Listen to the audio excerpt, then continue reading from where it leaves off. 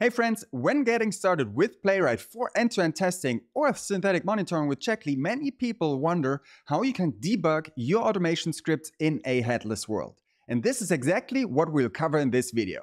Let's go. As always, I have a quick example page here running on localhost that only includes a sign in button that disappears when you click it and when you refresh every now and then there will be a modal asking me if I want to receive a surprise, which then leads to this lovely raccoon image being rendered. And on the left side, I have a playwright test that covers this exact functionality. I won't go into the details of what this script does here right now, but let's find out how we could debug this script with the tools that Playwright provides. But before we get into debugging, let's run this script by going to the terminal and typing npx playwright test. When we now run this, we will see that this test succeeds in roughly 2.3 seconds. So how could we have a look what is going on? For quick debugging, one of my preferred ways is pretty much just turning off headless mode and appending to the script the headed flag. And now we see Chromium coming up and we can now have a look what happens in this particular script. But as you've seen, this was rather quick. So how could we have another look? Luckily, Playwright provides a native way to debug all your scripts. So when you go back to the terminal and you change the headed flag to the debug flag, now Playwright will spin up the native debugging UI. So on the left side, we now see Chromium with our testing session. On the right side, we have the Playwright inspector. And it comes with all the usual things that you are familiar with from your debugging sessions. You can press play or you can go over every step of your end-to-end -end testing script step by step. And Playwright is even so nice and signals you what elements it's interacting with. So you can go step by step and you can debug what is going on with the native debug UI. Additionally to the debug mode, you could also check out Playwright's UI mode. So when I change the debug flag to dash dash UI, you can inspect all your test cases from this native Playwright UI.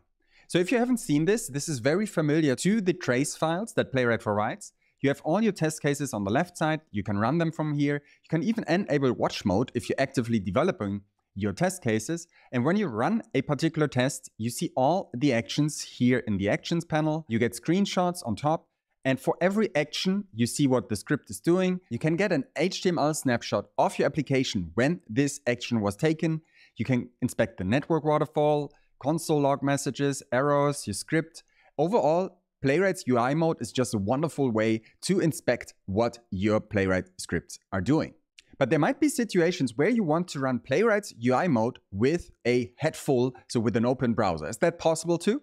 When we go back to the terminal and we combine the dash dash UI flag with the headed flag, we can now run all our Playwright scripts from the Playwright UI and we can follow along with the headful, with the open browser while our scripts are running and we still get all the debug information here right in the Playwright UI. So this is pretty sweet. But it doesn't help with debugging our scripts step by step. How could we do this in UI mode? Here's a Playwright pro tip whenever you run your Playwright scripts locally with the headed flag or in head full mode, you can always go into your scripts and you can call await page pause. And what happens now is that Playwright will run the browser and whenever it hits this page pause, it will spin up the debugging UI.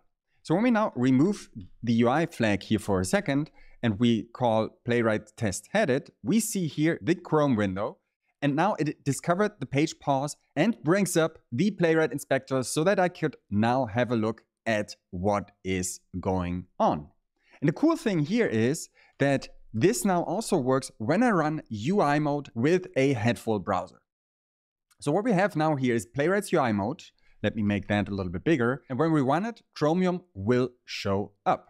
But the catch here right now is that this runs in headful mode, now it discovers that there's a page.pause, and now check this out.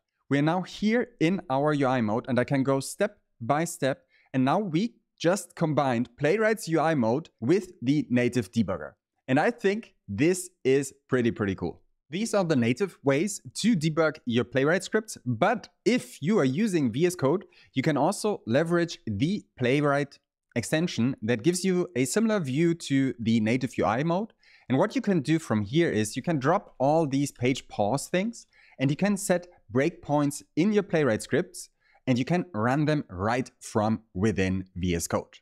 So you see here that I have show browser enabled and when I now debug this script from here, we again see Chromium showing up and we can now use VS Code to go step by step over the script. So when we now go here, we see that it's clicking this button, we can hit it again and we can move forward. And overall, the VS Code extension is another way to inspect and debug all your Playwright end-to-end test cases. So what's my preferred way to debug my Playwright scripts? I honestly find myself jumping back and forth. To write end-to-end -end tests, I usually rely on Playwright's UI mode because it allows me to watch files, rerun the tests, and gives me all the information that I need. But for more complex test cases, I heavily rely on Playwright's VS Code extensions so that I can start debugging right in my editor and also interact with the opened Chromium window. Do you have other ways to debug your Playwright scripts? If you have any, please drop a comment below. And always remember, if you're using Playwright for end-to-end -end testing running in CI/CD,